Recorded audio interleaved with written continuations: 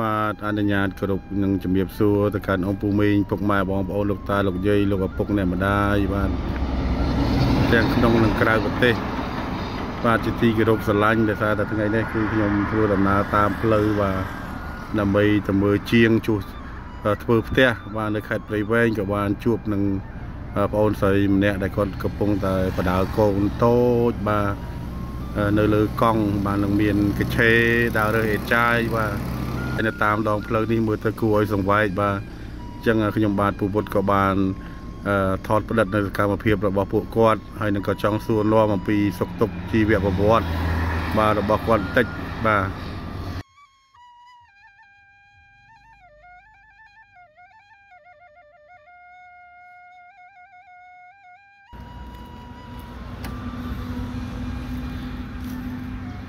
តើណាណាបងអូន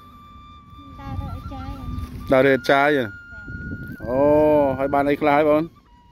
កំប៉ុង1គីឡូបានកំប៉ុង1គីឡូហ៎មើលបងមើលតិចមើលមានអីខ្លះមើលអូបានតិចដែកបានអីបងណាអូបានប្រហែល1គីឡូហើយ1គីឡូយើងលក់បានប៉ុន្មានទៅបាន5000ចែកអញ្ចឹង1គីឡូបាន5000ទេ ថ្ងៃមួយថ្ងៃរើបានប៉ុន្មានគីឡូអញ្ចឹងបងថ្ងៃ1គីឡូជាងកាមបាន1គីឡូទេដើររើដឹងបានរាល់ថ្ងៃមកឬក៏មិនទេបងពីយូរបានម្ដងថ្ងៃណាឡានសម្រាមចុះអស់ទៅអត់ទៅទៅផ្ទះកង់ប្រទេអញ្ចឹងចាមកតន់ក៏បានទៅមកតន់បានអត់តន់ក៏អត់ចឹងទៅអត់តន់ឡានសម្រាមចុះអស់អត់អញ្ចឹងហើយខាងនោះកូនមែន កូនណាកូន2នាក់នៅផ្ទះមួយនៅជំរាបឪចាស់ចរីឪចាស់ចរីចាឪពុកបងប្អូនឬក៏ប្តីឪខ្ញុំបកើតឪបកើតណាចាប្តីលែងគ្នាហើយប្តីលែងគ្នាអូហើយដើរត្រឹកត្រឹកនៅចៅថ្នល់មិញនេះអត់ខ្លាចឡានម៉ូតូទេមិញខ្ញុំឃើញឡានម៉ូតូធំធំដល់ហើយអត់ខ្លាចទេខ្លាចដែរដែរ មើលមិនឡានម៉ូតូអស់ហើយហ្នឹងចេះឆ្លងអញ្ចឹងហើយមករើសផ្លូវនេះរាល់ថ្ងៃហ្មងឬក៏មិនជូជូមកម្ដង ទៅខាងអ្នកលឿងអញ្ចឹងទៅទៅខាងអ្នកលឿងថ្ងៃណាហែងទៅទៅដល់គេហៅឲ្យកំប៉ុងឲ្យអីចឹងឲ្យមហូបឲ្យលុយអូគេធ្លាប់ឲ្យមហូបទៀតចាអញ្ចឹងបាទឥឡូវបងចង់សួរប្រវត្តិបន្តិចណា រឿងរ៉ាវសុខទុក្ខជីវភាពបន្តិចដើម្បីឲ្យអង្គពូមីលោកតាលោកយាយដែលកំពុងទស្សនា បាទបានស្គាល់បានដឹងថាប្រវត្តិបងអូនយ៉ាងណាណាបងណាបាទបាទហើយហើយបងបងឈ្មោះអីដែរបងមានបងផងអត់មានបងទេបងតែបងបងខ្ញុំគេមានគ្រូសាគេឡើងទៅថៃឡើងទៅអីហើយនៅសល់បងប្អូនស្រីម្នាក់ដើររៀបចាយខ្ញុំរាល់ថ្ងៃ អញ្ចឹងចាអឺបងអូនស្រីឲ្យផ្ទាល់នឹងឈ្មោះអីដែរខ្ញុំឈ្មោះស្រីរតស្រីរតអាយុប៉ុន្មានហើយបងអូន31 31ហ្នឹងណាបាទហើយមានកូនចៅប៉ុន្មាននេះកូន2នាក់មានកូន2នាក់ចាហើយអូននេះកូនបងកូនប្អូនកូនប្អូនអាបងនៅផ្ទះអាបងនៅផ្ទះចាបាទអញ្ចឹងមានកូន2នាក់ហើយអាបងនៅផ្ទះអាបងអាយុប៉ុន្មានបងអាយុ7ឆ្នាំ 7ឆ្នាំតែបងអូនអូន4ឆ្នាំ4ឆ្នាំហើយបានចូលរៀនទេបងអូននោះតែបងបានចូលរៀននៅអត់មានលុយអត់មានអីទិញក្អើទិញសភៅអត់មានលុយទិញសភៅអីទេចាអូហើយហើយចុះប្តីទៅណាប្តីយោមិញថាឮថាប្តីរត់ចោលលែងគ្នាហើយណាមួយវាមានប្រពន្ធទៀតចុះចោលខ្ញុំតាំងពីអាទូចនឹងនៅក្នុងពោះ3ខែជាង អញ្ចឹងចាហើយអត់ដែលមកអឺឈ្ងោកកូនចៅអីទេហើយតាលេខទេក៏អត់ចូលអីក៏អត់ចូលទេក៏អត់ចូលអីអត់ចូលហើយអត់ដឹងអត់អត់ដឹងថាគាត់គាត់នៅណាទេបងណាអត់ដឹងថាប្តីនៅណាទេប្តីខ្ញុំស្រុកកំណើតវានៅលងវែងនៅបានប្រពន្ធចុងក្រោយនៅបៃលិនអញ្ចឹងចាអញ្ចឹងមិនបានបងអូនទៅស្គាល់គាត់ដល់ឆ្ងាយមែនឥឡូវបងអូននៅអ្នកលឿងនេះ ខ្ញុំទៅធ្វើការនៅក្នុងធ្វើអីដែរកាលនោះធ្វើការការ៉ាអូខេអូធ្លាប់ធ្វើការការ៉ាអូខេចាអញ្ចឹងហើយក៏ជួបគ្នាទំនាក់ទំនងគ្នាអញ្ចឹងទៅចាហើយការរស់នៅមួយគ្នាហ្នឹងឪពុកម្ដាយដឹងសងខាងទៅឬមួយមិនដឹងដឹងមានបានអឺរៀបការឬក៏មិនទេមិនបានរៀបចំទេព្រោះអីអត់លុយដូចគ្នាក្រដូចគ្នាអាចាំអត់មានលុយ រៀបចំ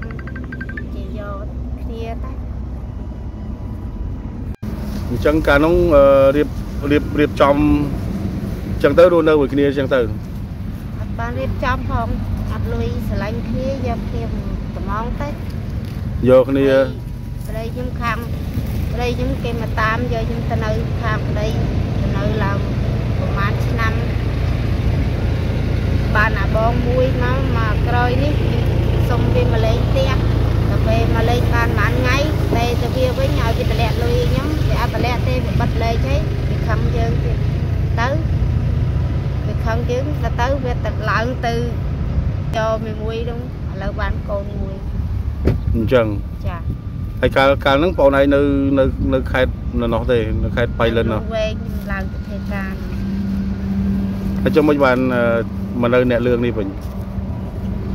ឪខ្ញុំគាត់ទេហៅមកលេងផ្ទះហើយម៉ែខ្ញុំគាត់ទៅស្លាប់ទៅមកបានប៉ុន្មានថ្ងៃហើយមកបាន2ឆ្នាំជាង2ឆ្នាំជាងហើយណាចាអត់ទៅវិញទេទៅទេឲ្យគាត់ចាស់ចរិយាមានណាមើលហើយលបាយទឹកអត់មានណារៀបចំឲ្យពេលខ្ញុំទៅចោលគាត់គាត់បាននេះហូបបើយើងទៅក៏អត់បានឲ្យហូបទេហើយម្ដាយស្លាប់ដោយសារឈឺអីដែរម្ដាយទៅបុកម៉ូតូបុកចាទៅ បុកបាក់ជើង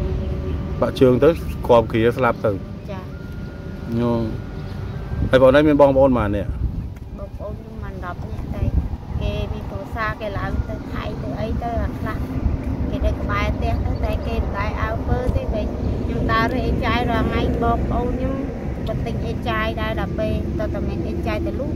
បានបានលុយមកទិញកអញ្ចឹងថាតែសុំវាមិនឲ្យយើងស៊ីទេអត់ឲ្យទេ ដល់មានអេចៃលូឲ្យចាបងប្អូនបកើតហ្នឹងបងប្អូនបង្កើតអូចិត្តដាច់ហ្នឹងណាចិត្តដាច់ហ្នឹងណាតើឪនៅរាល់ថ្ងៃឬក្បែរគូផ្ទះវាវាមិនអើពើមិនយកស្អីមកឲ្យហុចឲ្យឪហូបផងអត់ដែលមានអីឲ្យទៀតតែមានអីឲ្យឪហូបទេបើដើររកអេចាយបានទៅថ្ងៃណាបានគេឲ្យបោះឆ្ងាញ់ឆ្ងាញ់ទៅយកមកធ្វើឲ្យឪហូបកាលណាអត់ទៅអត់ ហើយឪពុកហ្នឹងនៅនៅហូបចុកមួយប្អូនឯងហូបចុកមួយខ្ញុំហើយនឹងបងស្រីខ្ញុំមួយទៀតគាត់ដើររកអេចាយដែរទៅអេចៃចឹងដែរចាកងគាត់មកក្រោយខ្ញុំគិតគិតអញ្ចឹងអូខ្ចីកង់គេមកតែអត់មានកង់ជិះខ្ចីកង់គេមកខ្ចីកង់គេលោកអេចាយបានប៉ុន្មានប៉ុន្មានអញ្ចឹងយកលុយទៅឲ្យថ្លៃកង់គេ5000អញ្ចឹងទៅសល់ប៉ុន្មានដើរសងគេហើយជពាក់គេស៊ីវិញដដែលមួយថ្ងៃរើបានប៉ុន្មានដែរ ថ្ងៃរើបាន10000ជាង20000គ្រាន់កូនស៊ីចាយទិញកទិញអីឲ្យហូបទៅរើដល់ណាកន្លះបងឬក្បែរក្បែរហ្នឹងទៅខាងអ្នកលឿងចឹងទៅថ្ងៃណាខាងអ្នកលឿងឡាសម្រាប់ចុះអស់បកឡើងមកវិញមកខាងកំពង់សឹងទៅដល់កំពង់សឹងចាឆ្ងាយណាបងឆ្ងាយធ្វើម៉េចបើអត់លុយចេះជិះដើររើសទៅតាមខ្នល់រើសមិនបានលូនតាមក្រុមផ្ទះគេរុកព្រៃរុកអីគេ កាយពីក្រោយក្រោយផ្ទះគេល្បាប់ធប់វិចព្រៃរកដែករកកំតែគេដែរស្ដីឲ្យអត់យើងអត់លួចគេគេអត់ស្ដីឲ្យគេមានអាណិតគេហៅឲ្យគេឲ្យអីខ្លះដែរបងដើររើសតាមកម្លាំងខ្មែរកុំឲ្យតែទៅលួចគេបាទគេអត់មានដែរស្ដីឲ្យយើងថាងតកាយគេភ្ញាក់គេអីស្មានតែយើងយកអីរបស់គេអញ្ចឹងណាគេតែស្ដីឲ្យទេញ៉ាគេហៅឲ្យយកកំប៉ុង ហៅឲ្យកូនខ្ញុំយកលុយជាងកាលគេយកអាវរើកអាវឬកឲ្យទៀតបានកបានកៅទៀតគេឲ្យអាវស្ទីតែកូនរៀនគ្មានលុយចុះឈ្មោះឲ្យកូនរៀនហ្នឹងតែសភៅក៏អត់ទៅពៅអត់មានដែរហើយផ្ទះនៅហ្នឹងផ្ទះរបស់យើងឬក៏យើងជួលគេគេខ្លួនឯងផ្ទះរបស់ពុកណាចាអូហើយអឪពុកហ្នឹងអាយុអាយុម៉ាក់ខ្ញុំអាយុចិត្តជាងចិត្តជាងហ្នឹងណាគាត់អត់ធ្វើអីកើតទេធ្វើអី គាត់ត្ងឹតភ្នែកគាត់ទៅបកភ្នែកឲ្យនៅតែផ្ទះមើលតែចៅហ្នឹងខ្ញុំយកអាបងមករដងតែថ្ងៃហ្នឹងអាបងវាអត់ស្រួលខ្លួនតែអញ្ចឹងយកអាប្អូនមកទៅបាទហើយហើយឪពុកឪពុកក្មេងៗពីរហ្នឹងប្តីអតីតប្តីបងប្អូនហ្នឹងអត់ដែលមានផ្ញើលុយផ្ញើកាយកូនចាយអីណាញ៉ាទេតាតេក៏តេចូលដែរលេបាទ ហើយអញ្ចឹងឃើញថាបងប្អូនឯងរៀបរាប់តិចមើលពីការហូបចុកហ្នឹងគ្រប់គ្រាន់បានបានហូបគ្រប់គ្រាន់អត់ឬក៏មិនការហូបចុកគ្រប់គ្រាន់មានមានពិបាកថ្ងៃណាត្រូវស្រួលគេហៅទៅបើកអំណោយបើកអីគេចែកបានចែកអីបើកអំណោយឲ្យហូបចឹងទៅហូបមួយអាទិត្យឬក៏កន្លះខែចឹងអស់ទៅដើររលុយទិញចំណាយហើយក៏1គីឡូ3000ទៅការរកអីចាអត់បាន ពាក់ទេដើរខ្ចីគេខ្ចីគេអញ្ចឹងទៅហើយបើយើងលក់បាន10000ជាងអញ្ចឹងបងថ្លៃកង់គេ5000បាទហើយចាហើយចុះដែលចុះឧទាហរណ៍ថាបើមកលេងអឺយើងរើអត់បានតើបានបានលុយដែរតើបងថ្លៃកង់គេ5000រើបានបកទៅវិញសុំបកគេចាំស្អែកទៅថ្ងៃណារើបានចាំសងគេហើយកង់នេះមួយប៉ុន្មានឃើញចាស់ដែរហើយហ្នឹងកង់នេះជាង100000ជាង100,000 ជាង100,000យើងទិញបានកង់ថ្មីណាហុកនេះកង់ថ្មី200,000ជាងហ្នឹងហ្នឹងហើយហើយកង់វាអត់មានប្រាំងទៀតបើអ៊ំមួយនៅក្បែរផ្ទះខ្ញុំហ្នឹងគាត់លក់កង់ឲ្យបងខ្ញុំកង់ឡើងច្រេះបាក់កម្មមកឲ្យលក់ឲ្យគាត់6វើនៅកង់បែកទាំងនោះទាំងក្រោយឲ្យបាក់កម្មហើយឡើងច្រេះគាត់លក់ឲ្យ6វើកង់ឈៀតកើតហ្នឹងដល់ដុសលាងស្អាតជាទៅឲ្យគេវិញទៅថ្លៃពេក60000ថ្លៃពេកបានព្រោះមានលុយណាទិញដល់60000 ហឹមហើយចុះចុះកង់លបាក់ប៉ុនប៉ុនបងប្អូនខ្ចីគេនេះជួលគេនេះប្រហែលប្រហែលកង់នេះអត់មានប្រាំងអត់មានអីផងនេះបើថ្មីអាហ្នឹងចូល5 10ម៉ឺនជាងទៅ20ម៉ឺនថ្មីចុះមិនយើងសុំទិញគេយើងបងបលោះគេមួយថ្ងៃ5000មិនចំណេញជាងយើងជួលគេកង់គេចុះលវលលក់ត្រីលក់អីដែរហ្នឹងអញ្ចឹងទៅចែកគេមិនគេមិនលក់មិនបាខ្ចីគេមួយថ្ងៃមួយកាលយូរយូរខ្ចីដល់ ថ្ងៃណាអត់កង់មកទៅដើរស្ពីទៅតាមផ្នត់ទឹកដីគោស្ពីទៅទៅដល់ស្ពេកតីចុះបើយើងរើសបានមកពេញមួយតីមិនធ្ងន់លើករួចដែរដើររើសជិះក៏ពេលស្ពីទៅដើររើសអត់យកដៃទេយកតាជួឲ្យកំប៉ុងចូលឲ្យកំប៉ុងហ្នឹងណាបើឃើញដៃក៏យកអត់កើតដែរសារធ្ងន់ដែរបងណាធ្ងន់ពេក ចុះក្រៅពីមុខរបរចំណេះជំនាញខាងអេតចាយអញ្ចឹងបងប្អូនអត់មានចំណងចំណូលចិត្តអីចេះធ្វើកិច្ចការកាត់ដេរដេរប៉ាក់អីអត់ចេះទេបងប្អូនណាចេះទេខ្ញុំអត់ចេះសោផងអត់ចេះអក្សរទេចាហើយកាលកាលកាលដែលពីមុននោះប្រាប់បងមិញថាទៅនៅដល់លងវែងហើយមិនបានចាក់ចេញពីអ្នកលឿងទៅដល់លងលងវែងខ្ញុំចេញបោកគេគេយកខ្ញុំទៅគេថាពេលហ្នឹងឲ្យខ្ញុំឲ្យ ខ្ញុំនៅខ្ញុំនៅក្មេងតែអត់ដឹងខ្យល់អីទេតែមីមួយហ្នឹងវាធ្លាប់ធ្វើការការ៉ាអូខេនៅតកែវតែចឹងទៅវាមកប្រាប់ខ្ញុំថាបើចង់បានលុយស្រួលលុយបានមកឡើងធូរហើយអត់ការងារអត់ពិបាកទេគ្រាន់អង្គុយលើកៅអីបានលុយធូរទៀតមានណាខ្ញុំខំទៅតាមវាវាយកខ្ញុំទៅលក់ដល់លើកែវនៅក្នុងឡប្រហែលឆ្នាំឲ្យខ្ញុំគាត់ សើបសួរអីប្រាប់គេប្រាប់ឯងជួយដើររកចាំប្លង់ដីផ្ចាំអីដើររកខ្ញុំឡើងប្រហែលឆ្នាំទ្រាំរកឃើញគេយកទៅលក់មកទៅលក់អីគេបងគេយកខ្ញុំទៅដាក់ក្នុងហាងស្រីខូចហ៎អូគេយកលុយចេញពីតកែនោះហើយដល់ទៅទុកខ្ញុំឲ្យនៅបម្រើតកែនោះអញ្ចឹងបម្រើភ្ញៀវបម្រើអីចឹងណាអឺគេវាយយើងធ្វើបាបយើងទ្រាំយើងព្រមធ្វើការហ្នឹង ដើម្បីរកលុយចំណូលចូលឲ្យគេហ្នឹងហើយយូរដែរកាលហ្នឹងយូរដែរយូរហើយឡើងប្រហែលឆ្នាំហើយហ្នឹងហើយបន្ទាប់មកក៏បងប្អូនទៅធ្វើទៅលងវែងវិញចាហើយទៅធ្វើការអីនៅលងវែងហ្នឹងធ្វើការការ៉ាអូខេម៉ាស្សាកូនជុកអញ្ចឹងហើយក៏បានជួបប្តីអញ្ចឹងទៅណាចាអឺហើយឃើញកូនស្អាតស្អាតទៀតកូនតូចតូច ហើយពួកគាត់បានហូបបាយទៅមកនេះនៅអត់ទាន់បានបាយទេគេផឹកតាមផ្លូវមកផឹកតែទឹកហ្នឹងតន់បានហូបបាយណាអត់ទាន់មកហូបបាយទេហើយចុះអូនមិនយំយំរកបាយរកទឹកហ៎មិនឲ្យគ្នាហេវគ្នាមានយំអីវាបានផឹកបានអីទៅបាយទឹកអីអត់ទៀងពេលវេលាអញ្ចឹងនំហើយហើយដល់មានមានមានលុយបានមានបាយហូបអញ្ចឹងណាចាអឺ ហើយចុះបងប្អូនដែលមានបំណងថាចង់មានដើមទុនអីទៅធ្វើប្រកបរបរអីដើម្បីចិញ្ចឹមជីវិតក្រៅពីមុខរបរដើររើសអេចាយនេះបងមិនដឹងទៅរកអីទេព្រោះអីទោះបីមានលុយទៅប្រកបមុខរបរផ្សេងក៏មិនដឹងថារកអីលុកអីធ្វើអីអត់ដឹងធ្វើអីទេតែម្យ៉ាងរើសអីចាយថ្ងៃណារើសបានទៅបានហូបទៅថ្ងៃណារើសបានដល់ខែលៀស ដូរមុខរបរអីចាយចេញទៅរកលៀសលក់ដូររុញលះលក់ណាចាលះហាលយើងហ្នឹងទីហាលយើងណាយើងយើងទៅយកពីគេមកយកមកប្រឡាក់អត់យកពីគេទេខ្ញុំតែរៀងខ្លួនឯងទៅរាវលះចារាវនៅទន្លេហ៎រៀងនៅបឹងតាមបឹងតាមអូគេដៅអាកាប់គេកាប់ចៅយូរឆ្នាំដល់ពេលទឹកឡើងមកវាកើតជាជាលៀសអញ្ចឹងចាទៅរកមកបានអញ្ចឹងមកយើងយកមកប្រឡាក់ហាលលក់អញ្ចឹងទៅរកបានមកដាក់លក់ទាំងឆៅហ្នឹង អូលក់នឹងឆៅហ្នឹងកំពីប្រវត្តិអញ្ចឹងចាតែខែណាដែរដែលបងអូនទៅរកលះហ្នឹងខែណាក៏ទឹកស្រក់អស់ហ៎ខែនឹងទឹកពេលនៅព្រំហូហៀតរមមិនទាន់បានទេគួយអត់កើតទឹកនេះក្បាលលេចមកទឹកជ្រៅពេកជ្រៅហើយបងឃើញនេះបងប្អូនមានសភាពស្គមស្គាំងស្លេកស្លាំងមានជំងឺអីក្នុងខ្លួននេះឈឺខ្ញុំមានផ្ទុកមេរោគអញ្ចឹងចា កើតមេរោគដោយសារតែយើងកាលហ្នឹងយើងយើងទៅកើតមេរោគដោយសារដើរធ្វើស្រីអាចចុះប្តីហ៎ប្តីខ្ញុំមានកើតទេមិនមកអត់កើតបើយើង មានកូនចៅមួយគ្នាកើតតែយើងប្តីអត់ពេលកើតខ្ញុំយកប្តីខ្ញុំមានរោគណាតែមកកើតឥឡូវឥឡូវនេះទៅកើតលើលើទេចាកាលហ្នឹងប្តីរត់ចោលហើយបងអូននៅតែប្រកបអារបរអញ្ចឹងទៀតចាហឹម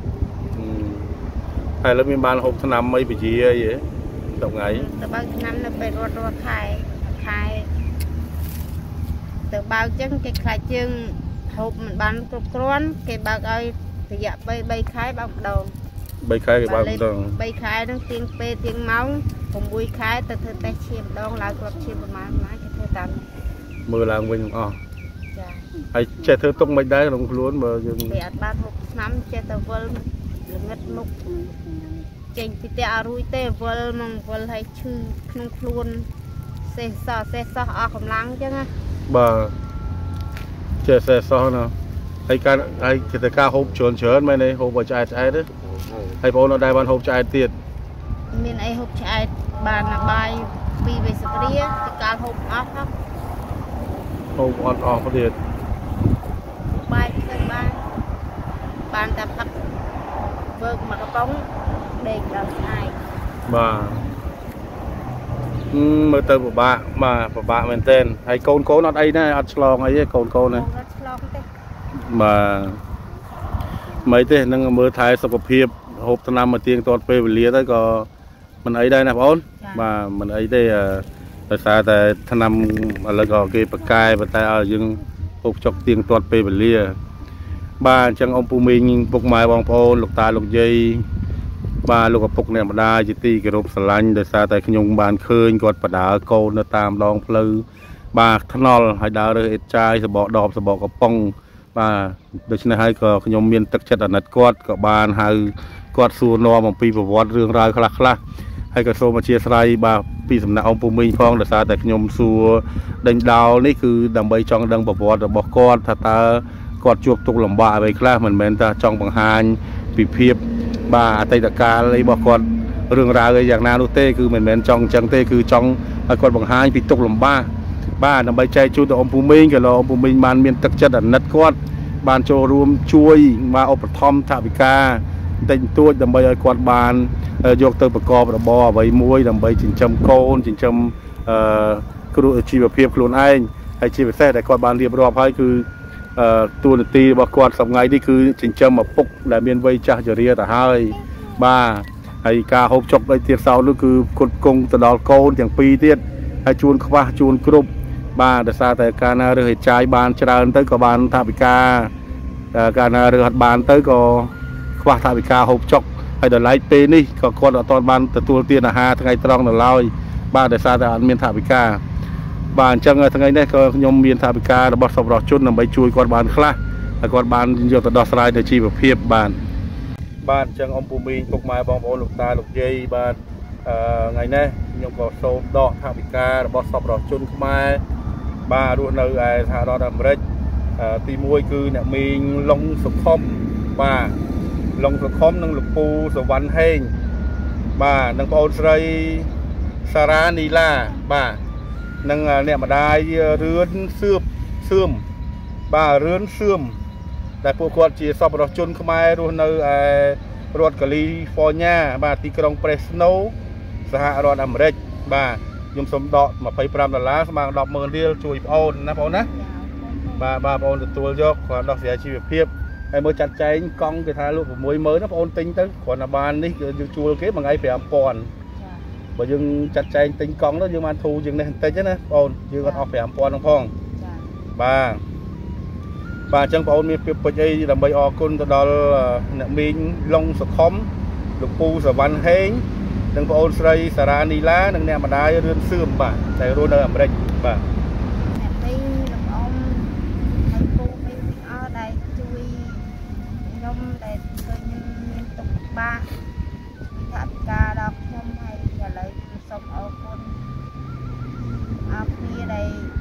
ខំជួយខ្ញុំសូមជួយពរឲ្យអ្នកមីងលោកអ៊ំយាយបាទពូទាំងអស់ដែលសុខភាពល្អបាទសាធុសាធុសាធុបាទអញ្ចឹងទៅចោះបងណាទៅចោះបាទបាទសុខសប្បាយហើយមើលទិញបាយទិញទឹកឲ្យកូនហូបផងណាបាទបាទ បាទអ៊ំពូមីងពុកម៉ែបងប្អូនបាទឃើញថាបន្ទាប់ពីខ្ញុំក៏បានដកថវិកាចំនួន100,000រៀលដើម្បីជួយគាត់បាទបាទបាទបាទទៅចោះបងបាទដើម្បីជួយគាត់ឲ្យគាត់មានហូបចុកបាទរួចមួយពេលមួយពេលបាទហើយអ្វីដែលគាត់បានរៀបរាប់អង្គភូមិក៏បានស្ដាប់ហើយគាត់អត់មានលក្ខប្រវត្តិគាត់ទេ បាទរឿងរ៉ាវយ៉ាងណានោះគាត់បានជំរាបមកកាន់ក្នុងវីដេអូនេះទាំងអស់ថាតើគាត់ពីមុនគាត់ធ្វើអី បាទគាត់ប្រកបរបរអីដើម្បីឲ្យបានជីវភាពរស់នៅ បាទហើយចៃដន្យអាក្រក់គាត់មានគេហៅថាប្រភេទជំងឺស្រាលបាទនៅក្នុងខ្លួនគាត់ដែលគាត់មិនមានហើយដល់ឥឡូវនេះគឺគាត់មិនអាចទៅធ្វើប្រកបរបរអ្វីបានក្រៅពីដើររើសសបកដងសបកកំប៉ុងឲ្យចាយទៅតាមដងផ្លូវបាទដើម្បីបានលក់យកប្រាក់ចិញ្ចឹមដល់ឪពុកចាស់និងកូនប្រុសពីរនាក់ទៅទៀតបាទ ហើយប្រឹងប្រែងនេះគឺប្រឹងប្រែងទាំងឈឺទាំងជាតែម្ដងបាទអញ្ចឹងខ្ញុំមានអ្វីទេគឺមានតែក្តីអាណិតក្តីអាសូរទាំងផ្សព្វផ្សាយជូនទៅដល់អង្គភូមិគីឡូបានជួយទៅដល់គាត់បានកង់ក៏ដូចជាគ្រឿងហូបចុកអីជាដើម បាទអញ្ចឹងដល់ឡៃថ្ងៃនេះអឺខ្ញុំក៏សូមគោរពអរគុណនៅទឹកចិត្តរបស់សប្បុរសជនខ្មែរដែលតែងតែញើជាថវិកាតាមរយៈខ្ញុំបាទប្រវត្តិ ដើម្បីឲ្យខ្ញុំជួយទៅដល់អ្នកខ្សត់អ្នកខ្សោយបាទអញ្ចឹងខ្ញុំអរគុណទៅដល់អ្នកមីងឡុងសុខុមបាទឡុងសុខុមលោកពូសវណ្ណហេងបាទនិងបងអូនស្រីសារ៉ានីឡា និងអ្នកម្ដាយរឿនសឿមដែលរស់នៅរដ្ឋកាលីហ្វ័រញ៉ាទីក្រុងប្រេស្ណូសហរដ្ឋអាមេរិកអញ្ចឹងក៏សូមអ្នកមីងនិងក្រុមគ្រួសារទាំងអស់គ្នាទទួលយកនៅមគ្គនៅផលដែលអ្នកមីងបានធ្វើនេះផងបាទហើយខ្ញុំបានប្រវត្តិក៏សូម លើកដៃបួងសួងទៅដល់ទេវតាឆ្នាំចាស់ផ្លាស់ចូលឆ្នាំថ្មីបាទសូមប្រទានពរប្រទានជ័យសិរីសួស្តីសុខសុភមង្គលអាយុយឺនយូរសុខភាពល្អបាទទៅកាន់អ្នកមីទាំងក្រុមគ្រួសារទាំងអស់គ្នាក៏ដូចជាអ៊ំពូមីពុកម៉ែបងប្អូនលោកតាលោកយាយលោកឪពុកអ្នកម្ដាយទាំងក្នុងនិងក្រៅប្រទេសដែលកំពុងទស្សនាក្តីមិនទស្សនាក្តីក៏សូមទទួលនៅមគ្គនៅផលស្មើស្មើគ្នានឹងឲ្យជួបប្រទេសតែពុទ្ធពរព្រះទាំងឡាយមួយប្រការគឺអាយុវណ្ណៈសុខៈពលៈកំបីគ្លៀងគ្នាឡើយបាទ បាទអញ្ចឹងនៅទីបញ្ចប់នេះបាទខ្ញុំបាទពុទ្ធក៏សូមអរគុណនិងសូមគោរពលាបាទ